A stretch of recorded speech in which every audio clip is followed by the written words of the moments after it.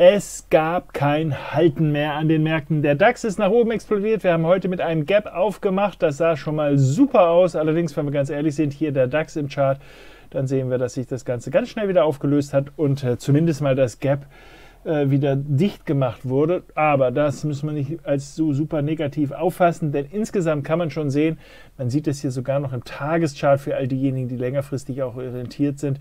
Wir sind aus dem Trendkanal ausgebrochen, so das Zwischenhoch, das ich immer gerne als Trigger verwende, altes Tief, vorheriges Tief und das Hoch dazwischen.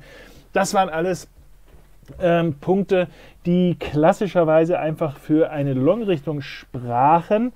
Es geht gar nicht so sehr darum, ob man das gehandelt hat oder nicht, aber es ist das äh, na, immer noch vorherrschende Bild, dass der Markt einfach die Orientierung mehr nach oben hat und äh, dementsprechend mehr Chancen einfach auf der Long-Seite scheinbar entwickelt.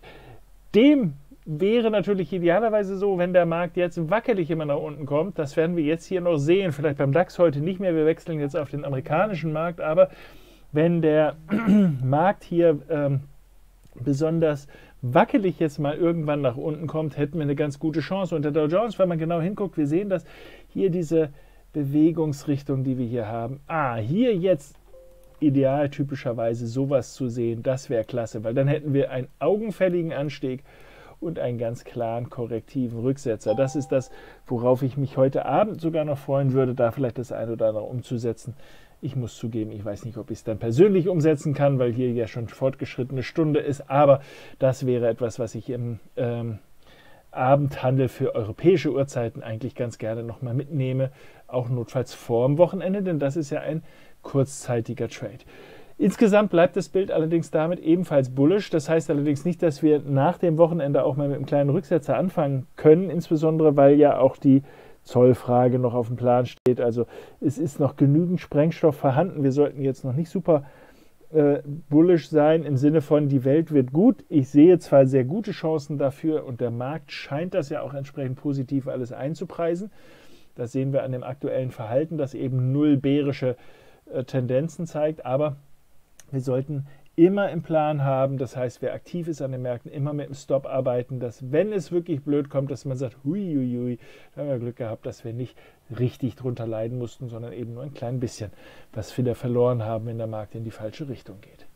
So, also bullisches Bild, was das hier angeht, wenn wir mal auf äh, die typischen Verdächtigen gucken, auf den Euro gucken, da hatten wir hier man sieht es hier noch an meiner Zeichnung, eben etwas, was ich schon so halbwegs im Petto hatte, wenn der Markt jetzt hier irgendwo in diesem Umfeld abgeprallt wäre und dann durch dieses letzte Zwischenhoch, dann hätte ich gesagt, das wäre der nächste Long gewesen.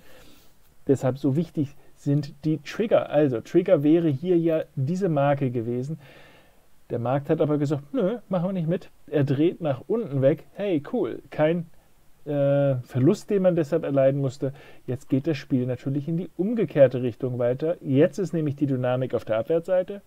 Wenn jetzt hier das Wackelige mal auf dieser Seite kommt, wäre das umgekehrt wiederum ein Zeichen, um dann auf der Short-Seite mit dabei zu sein. Also insofern im Moment sehr starkes Wechselspielchen. Man weiß noch nicht so richtig, wo man sein Ei hinlegen soll. Na gut, wir haben noch kein Ostern, jetzt kommt erst Weihnachten, aber es ist wirklich noch fraglich, in welche Richtung sich das Ganze entwickelt. Zu viel Einfluss eben entsprechend noch da. Auch beim Euro der Tenor durchaus positiv, die Entwicklung durchaus positiv bislang gesehen, zu, äh, zu, sehen gewesen, wenigstens hier, was die Strecken angeht. Und das Ganze kann jetzt einfach mal eine kleine Zwischenkorrektur sein. Und wer sich nicht sicher ist, wie weit sowas eben gehen kann, der kann hier mal ganz äh, grob einfach mal mit dem Fibonacci reinholzen ach komm, machen wir das hier auf diese Seite und kann sagen, was war der letzte Anstieg? Der ging von da bis da hoch und dann sehen wir schon, oh, wir sind schon ganz schön weit gekommen, unter die 38er Marke, die ich immer wieder anspreche, aber vorsichtig, wir sind nicht so sehr wackelig da rein. Ich würde mir noch mehr wünschen, wenn da ein bisschen mehr Struktur ist.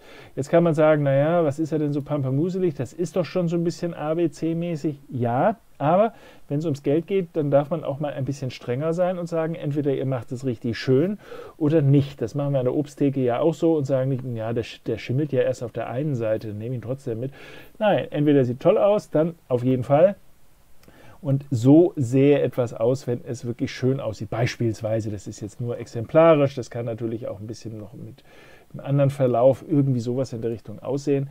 Da äh, mal selber nachgucken. Aber dreiwellig, ABC beispielsweise oder ganz wild hin und her wackelnd, ist da eine Hilfe entweder nach oben gewackelt, dann wissen wir, wir können nochmal Short gehen, oder später, wenn das Ganze als ABC ist, dann auf den nächsten Trigger das Ganze gesetzt.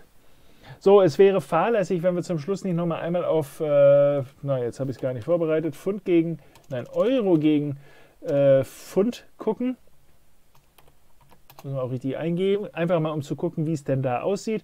Da waren wir ja seit dem Sommer sehr, sehr stark unterwegs nach unten, sehr einheitlich. Und seit dieser Tiefmarke hier kann man endlich mal wieder sehen, oh, es kann auch mal wieder nach oben gehen. Und das ist auffällig nicht korrektiv, wenn man das mal vergleicht mit dem, was wir hier so hatten. Das waren alles so Bewegungen, die sehr stark so A, B, C-mäßig oder zumindest so wackelig waren. Jetzt geht es hier mal wieder steil nach oben. Das heißt, wir haben eine realistische Chance, dass sich der Tenor hier gedreht hat. Und wenn wir hier mal auf einen kleineren Chart gehen, dann hat das sogar etwas, wenn wir hier mal die Einspielung kriegen, da sind wir, dann hat das sogar etwas, ich male es mal mit dem Stift nach, das ein bisschen 1, 2, 3, 4, 5 aussieht. Und wir wissen, nach fünf Wellen ist gerne Schluss. Wir haben das ja immer wieder als Thema, wo wir nachher mit einer A, B, C vielleicht noch rechnen können. Es bleibt also spannend, Euro gegen Pfund. Vielleicht vor dem Wochenende ist das kein Trade mehr, aber das ist mindestens eine Vorbereitung für nach dem Wochenende. Vielleicht mal am Sonntagabend drauf gucken, was der Kurs bis dahin schon gebracht hat. Ob wir natürlich nicht übers Wochenende, aber ob wir dann entsprechend in die Woche starten. Das wäre auf jeden Fall mal ein interessantes Bild, um anschließend dann die Aufwärtsrichtung nochmal zu nehmen, nämlich im Sinne von, das war der erste Teil und das sehen wir da hinten auch nochmal hoch. Nach so einem Rücksetzer täte es durchaus mal gut, eine Gegenbewegung zu sehen und ich mache mal mein Gemälde da weg. Was wir bisher sehen, geht ja schon deutlich in diese Richtung. So, in diesem Sinne wünsche ich für heute jetzt alles Gute, anschließend ein erholsames, ein tolles Wochenende und nächste Woche sehen wir uns wieder genau an dieser Stelle, wenn Sie denn wollen und mögen.